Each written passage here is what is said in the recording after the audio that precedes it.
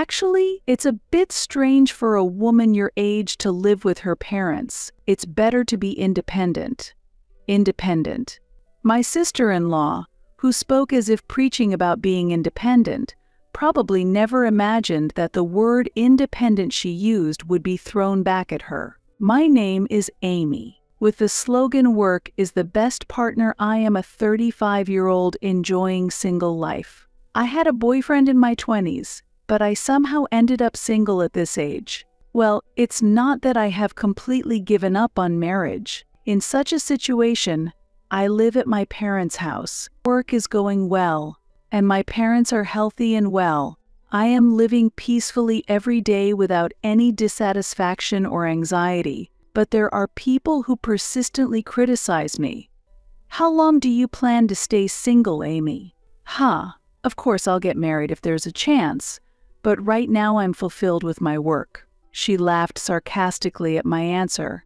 You say work is fun as an excuse to comfort your lonely self because you can't get married. Poor thing. Those who can't get married escape from reality by immersing themselves in work. What's so pitiful?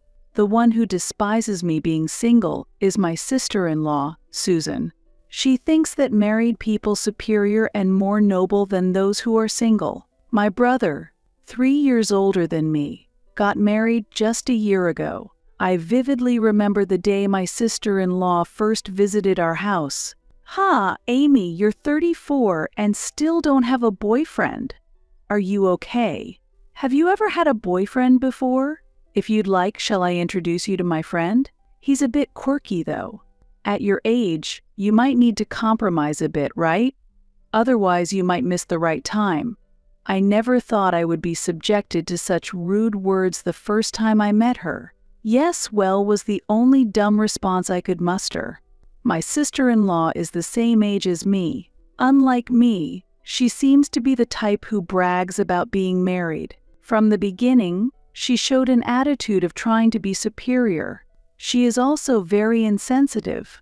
She looked up my company's income on the internet and asked intrusive questions like, Foreign companies pay well, right?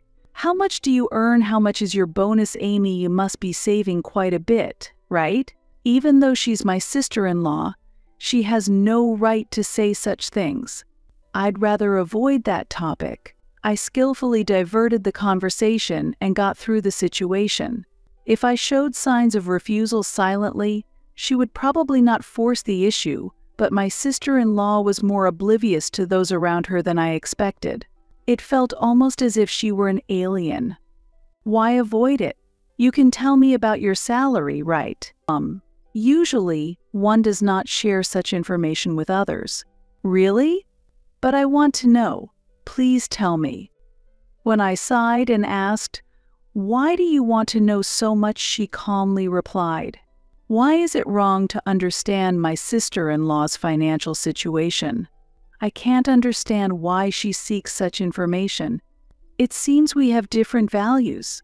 Feeling this, I had been keeping my distance from her. Even so, Susan's insensitivity went beyond normal bounds. One day on a holiday, she showed up at my parents' house and said, You know, Amy, I found this in your room before waving my pay slip around. She probably visited my house on a day I was away and searched my room. Since my parents' living area is on the first floor and my room is on the second floor, my parents didn't notice her going upstairs.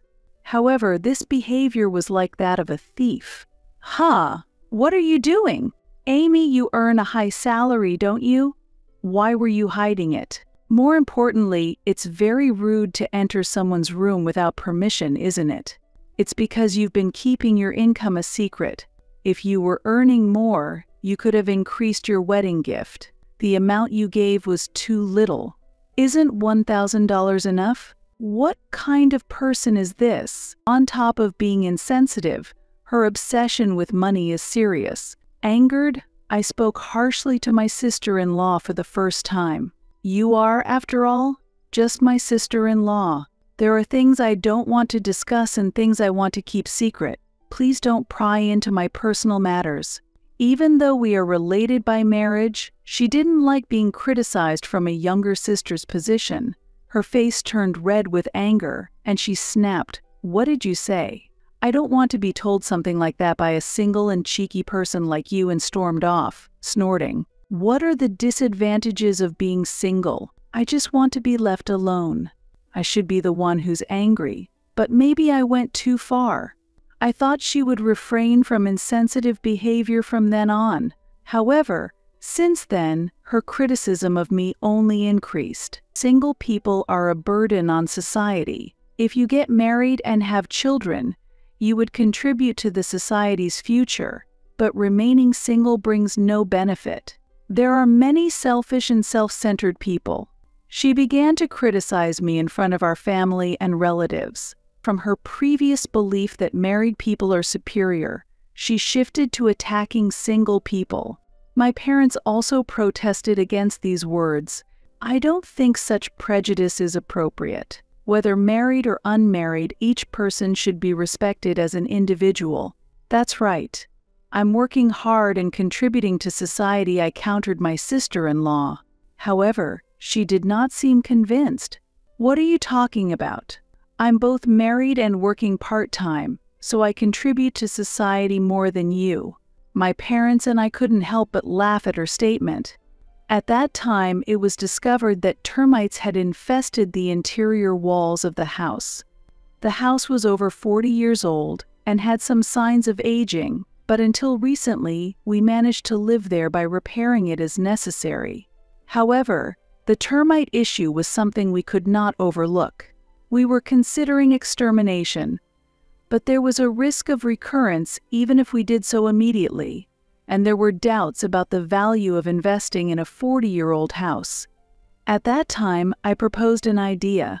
Shall we sell this house and find a new ready-built home? I had lived modestly at my parents' house and had managed to save a decent amount, but buying a new ready-built house might be a bit risky, right? My father was worried, but I reassured him by saying, It's fine, I'm 35 and can afford to buy a house on my own and decided to purchase it in my name.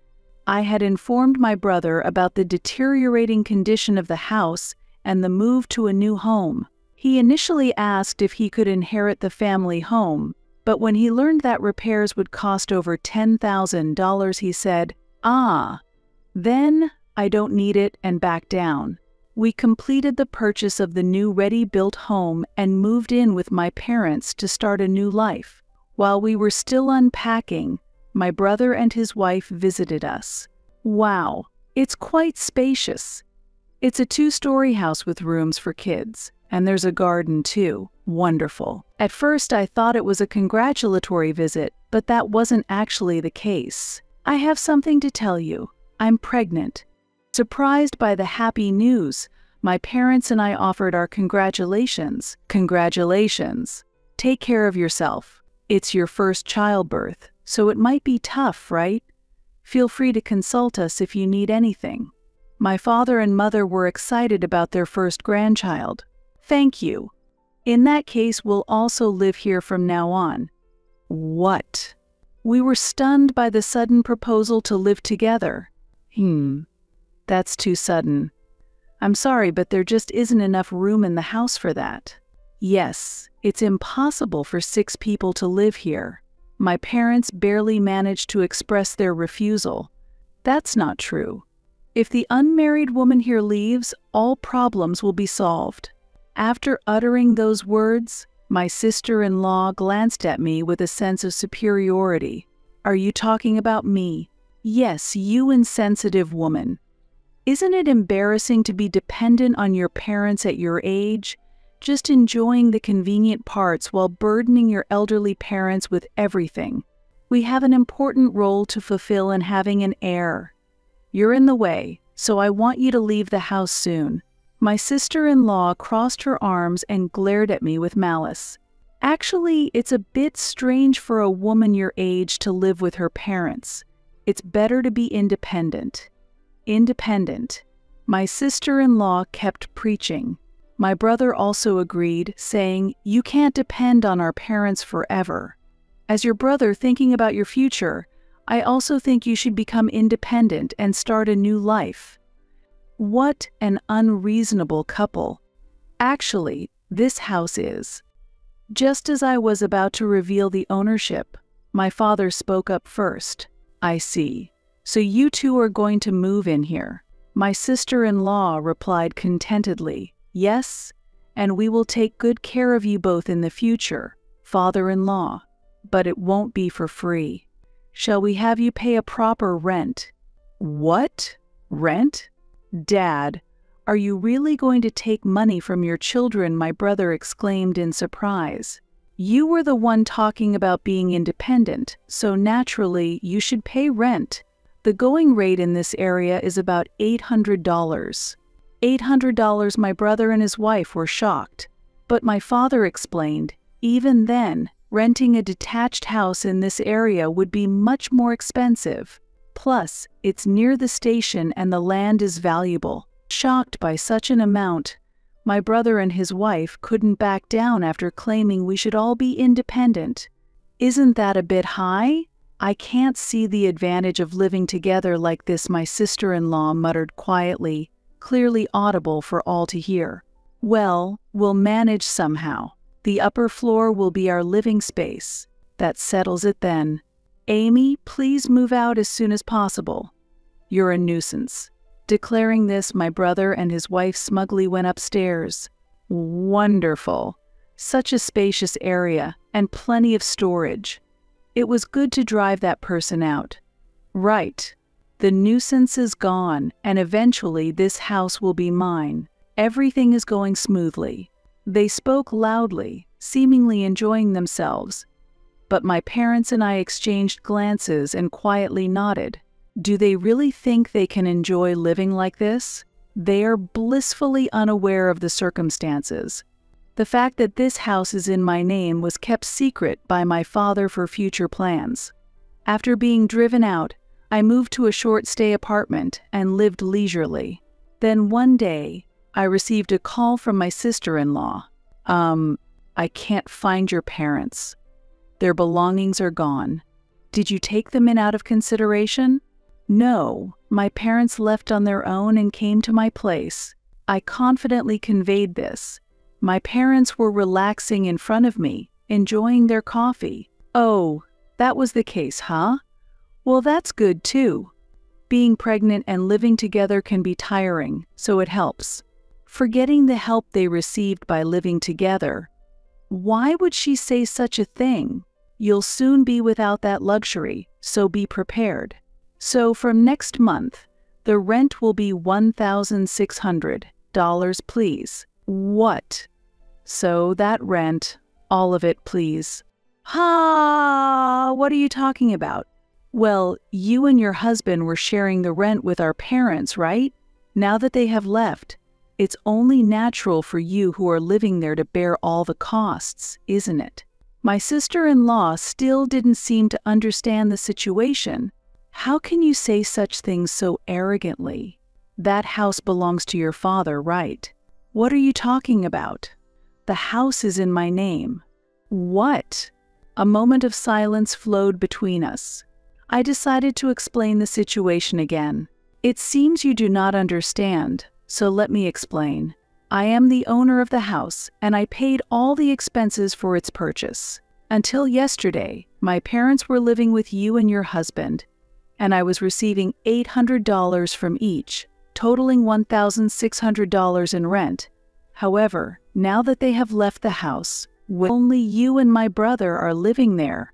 Therefore, from next month, you will need to pay the full rent of $1,600. This is why my father stopped me when I was about to claim ownership of the house. He had secretly been planning to correct my brother and his wife's irresponsible remarks. I haven't heard about this. Then they should come back and stay here. This is absurd. Surprised by the rent amount of $1,600, my sister-in-law became flustered and spoke in a disturbed manner. Did I make a mistake?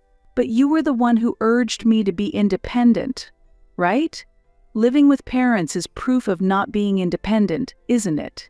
I continued the conversation by pointing out the irony in her behavior. If a couple only bears half of their financial responsibilities, they are not considered independent. That's why my parents decided to leave this house on their own. That's not what I meant. I really appreciate my parents. They actually teach me to stand on my own, so please make sure to pay the rent of $1,600 from next month. Wait a moment. I hung up the phone without waiting for a response. A few hours later, my brother called. Hey, what's with the ownership and rent talk? Isn't that totally unreasonable? Why are you being so selfish? Selfish? That's my line. Who intruded into a house bought by someone else and complained until the owner was driven out? Who was it that unreasonably used becoming independent as an excuse? My brother had nothing to reply. Anyway, if you can't make the payment, could you please move out? I don't want someone who can't pay the rent living there. Wait, we are having a child soon, and if it's 800 dollars we'll pay, so let us stay. Are you really having a child? Your stomach doesn't seem to have grown at all yet. What? According to my mother, my sister in law was supposedly six months pregnant, but her belly was still flat. Could it be? A lie. My brother's silence was as good as an admission. I will consider legal action, so please move out soon. Visibly frightened by my words, my brother replied, Okay, we'll move out soon, and ended the call. When my parents confronted my sister in law, she immediately admitted that her pregnancy was a lie. I thought if I said I was having a baby, you all would treat me a little better. Both father in law and mother in law always favor Amy over me. However, my parents were not cold to my sister in law. My father, maintaining an appropriate distance, merely admonished my arrogant sister in law as a person she had faked the pregnancy without understanding his intentions. Perhaps she really is an alien. Afterward, my brother and his wife left the house and decided to rent an apartment in a new location. As the peak of the moving season in early spring approached, the costs associated with the move exceeded expectations and turned out to be quite high. Typically, significant initial costs, including security deposits and prepaid rent, are required when renting a new place. Despite this, my planless brother and his wife, having saved no money, repeatedly visited my parents' home seeking financial assistance, but my parents resolutely refused. My father, stern yet fair, stated, It is time for you to be independent. I do not wish to associate with those who lack discernment. This incident led my parents to decide to further distance themselves from my brother and his wife. With no financial aid from my parents and difficulty in securing loans from banks, my brother and his wife were pushed into a financially difficult situation. Having once emphasized the importance of being independent, they now faced a situation where they needed to improve their circumstances without parental help. I am curious not just out of interest, but also to see how they would manage achieving being independent on their own. Meanwhile, my father also had deep concerns about my future. Amy, I believe you are a capable, independent woman.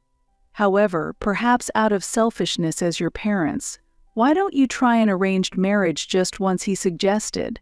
We have found a suitable match for you. It's our friend's son. Why don't you meet him once my parents surprisingly suggested? An arranged marriage for someone like me. What are you saying, Amy? You are always my pride, my father said. Dad, I am always grateful to you. Both your mother and I, he added, tapping my head affectionately. Significant turning points in life often hide in unexpected places. Shall we try your first arranged marriage then? With these thoughts, I felt a positive anticipation about new encounters.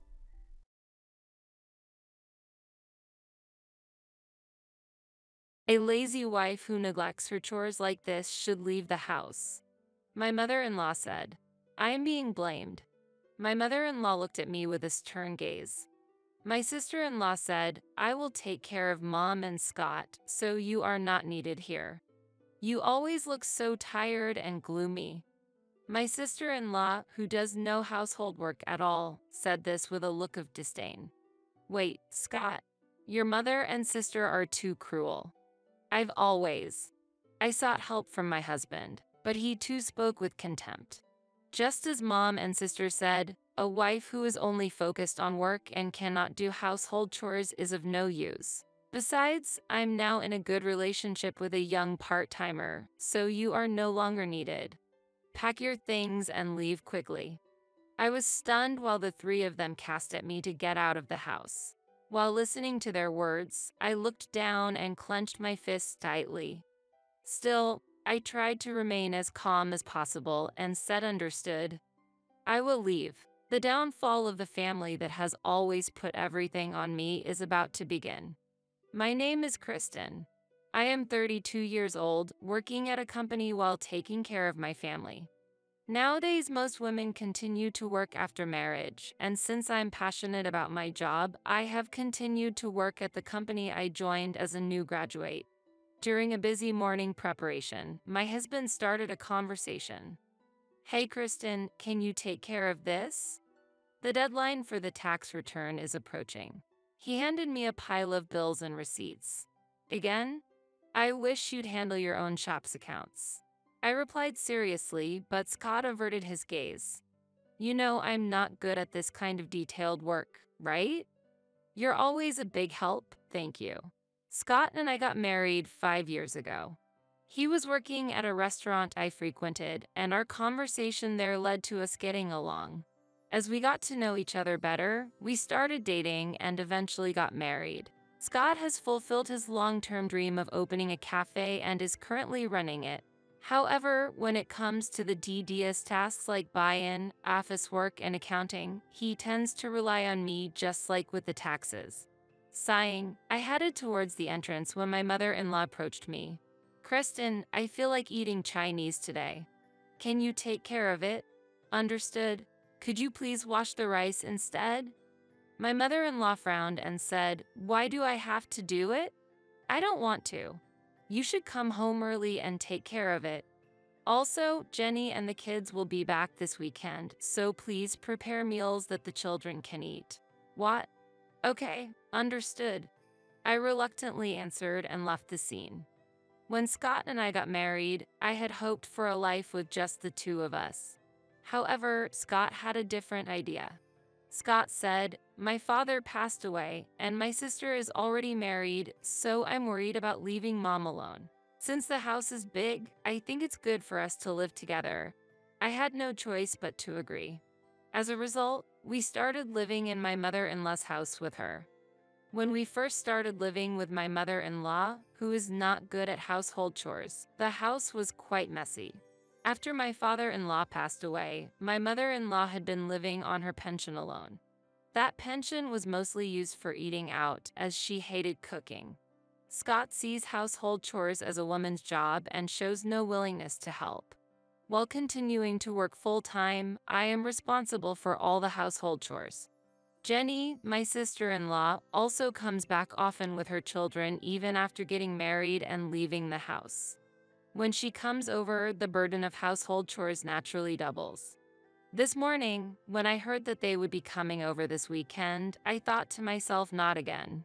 While thinking about this, the dreaded weekend arrived. Ideally, weekends away from work should be a time to rest, but when Jenny's children come asking to play, it's hard to say no.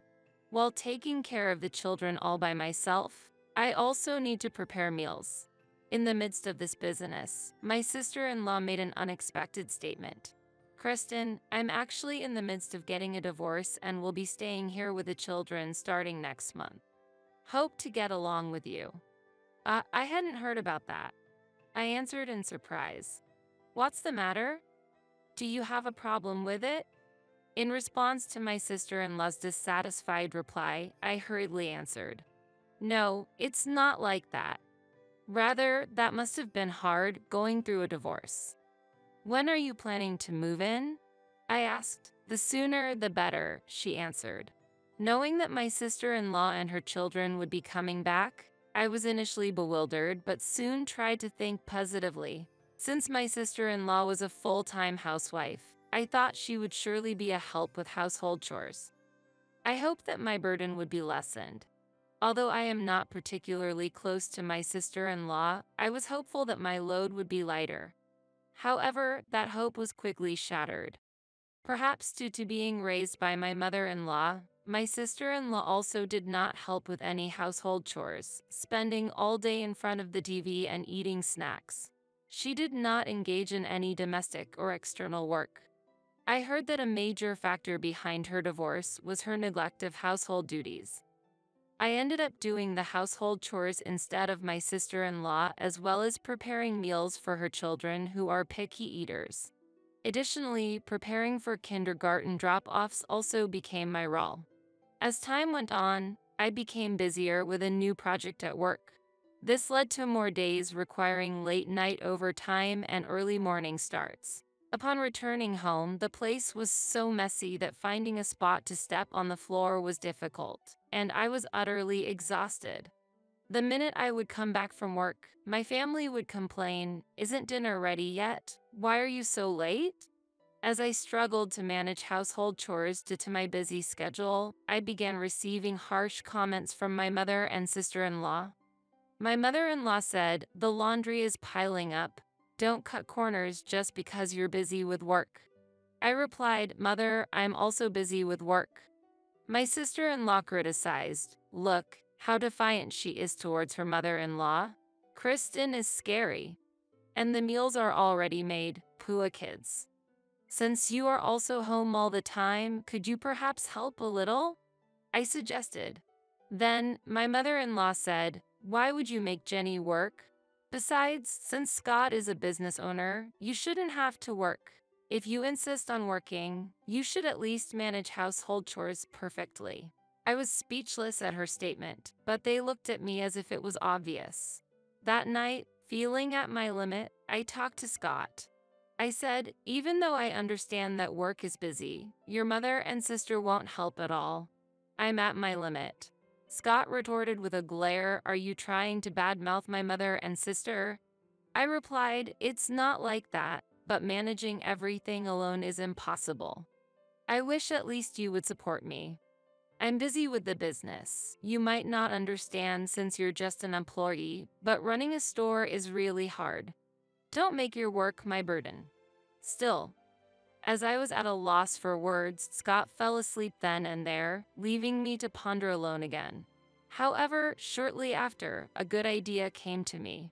I quickly completed some online shopping, then took the rest of the day off. A few days later, various new household appliances were delivered to our home.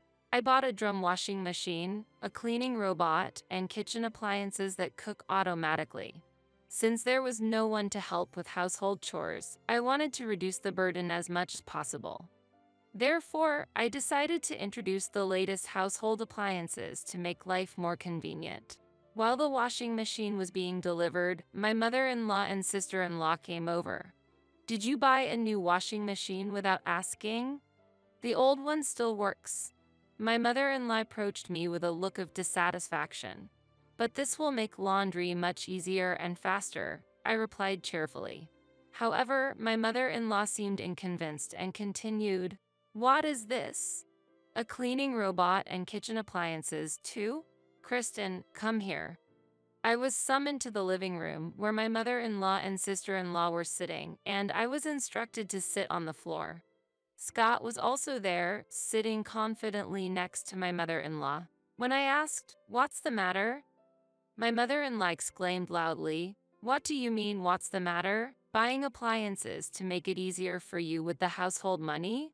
What were you thinking? I'm not trying to be lazy. I just want to make household chores more efficient, I argued back. It's not about that, my mother-in-law criticized.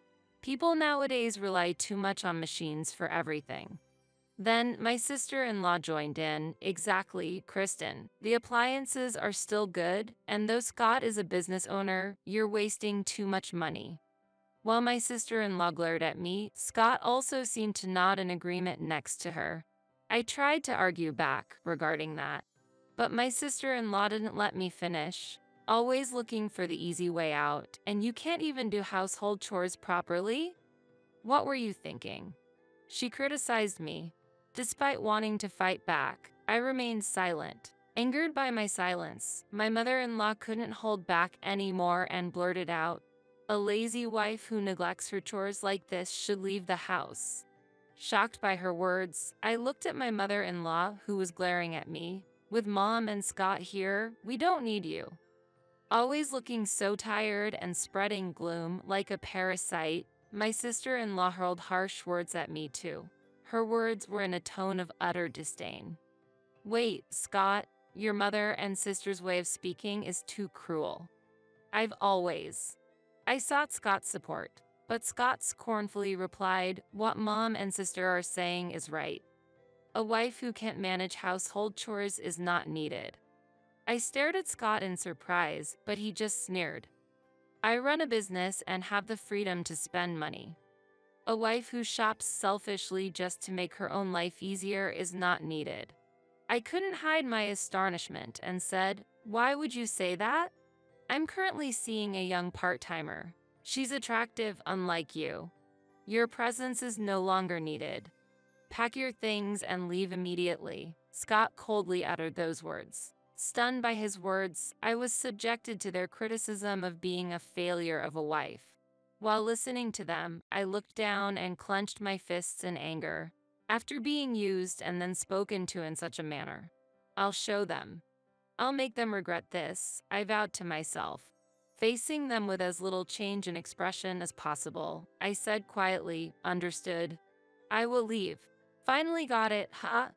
We'll be better off without a useless wife. My mother-in-law said contemptuously. Ignoring her words, I took out something specific from the living room drawer. Scott, let's get divorced, I said, presenting him with a pre-filled divorce form. Exhausted, I had prepared the divorce form in advance as insurance. Huh, you had that prepared? Fine, I'll sign it. Don't blame me if you regret it, Scott said mockingly and signed the divorce form on the spot. That day, I packed all my belongings and moved to a short stay apartment with the divorce form in hand. No one saw me off. Soon after, I submitted the divorce form to the city hall and rented an apartment in my name. Almost simultaneously with the divorce being finalized, I accepted a promotion opportunity I had previously turned down due to household responsibilities, finally becoming a manager. Achieving career advance meant that I had long given up on further fueled my passion for work. An environment where no one hindered my tasks was my greatest joy. About a week after leaving the house, I started receiving calls from my former mother-in-law. However, I was busy and had no desire to speak with someone who had once looked down on me. Therefore, I consistently ignored her calls. A year passed, and one holiday while I was relaxing at home, I received another call from my former mother-in-law. This time, I decided to answer the phone and end it once and for all. Hello? Kristen, you finally answered. You're terrible. How could you ignore my calls for a whole year? I could hear my mother-in-law's flustered voice from the other end. Do you need something? I responded indifferently. Well, first, how are you doing, Kristen? Are you doing well? My mother-in-law as if probing. I answered, how I am doing? I've rented an apartment for myself and am working hard. I've been promoted and my income has increased. I'm living a comfortable life. My former mother-in-law sounded a bit puzzled, but continued really. So, Kristen, would you consider coming back? Trying to persuade me to come back. I felt a chill at her sugary voice but asked, why now? Actually, we're in a tight financial situation. I said coldly with a smile, I see. I heard Scott's Cafe is making less than $1,000 a month, and neither you nor your daughter are helping, right? You knew that. I was well aware that Scott's Cafe was only making about $800 a month in profit since I was in charge of the accounting.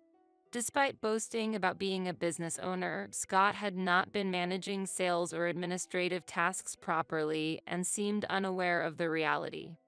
I was handling the accounting and buy-in, so I'm well aware of the situation. That's You should have said something. I had no idea that you were a manager at a major company and financially providing for us. Yes, indeed. I was contributing over $3,000 a month to the household. That was the basis of your living. I was aware that Scott's Cafe was hardly making any profit.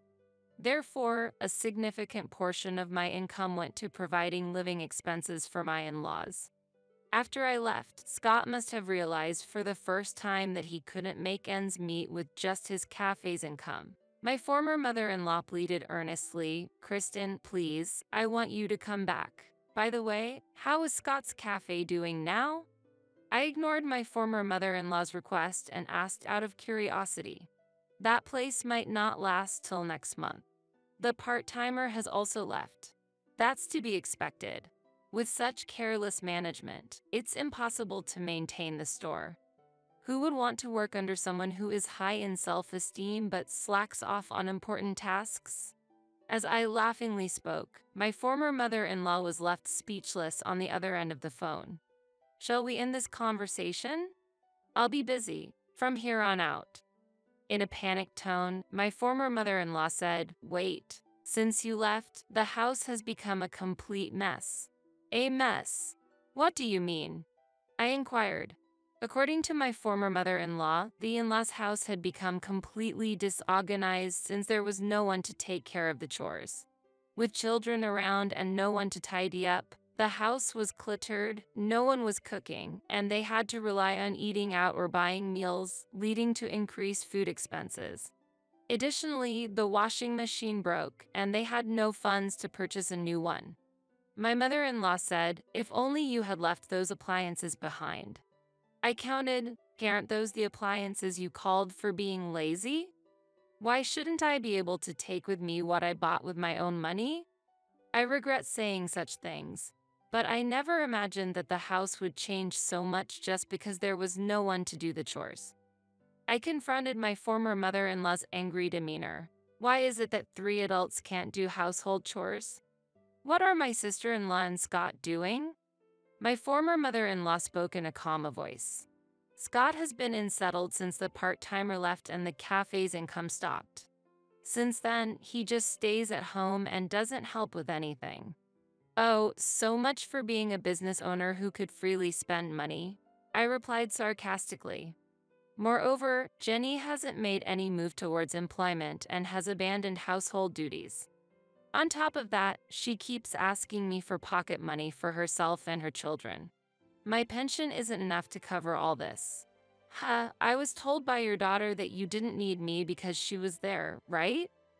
My sharp retort was met with more sweet talk from my former mother in law. Kristen, please. I can't make ends meet with just my pension.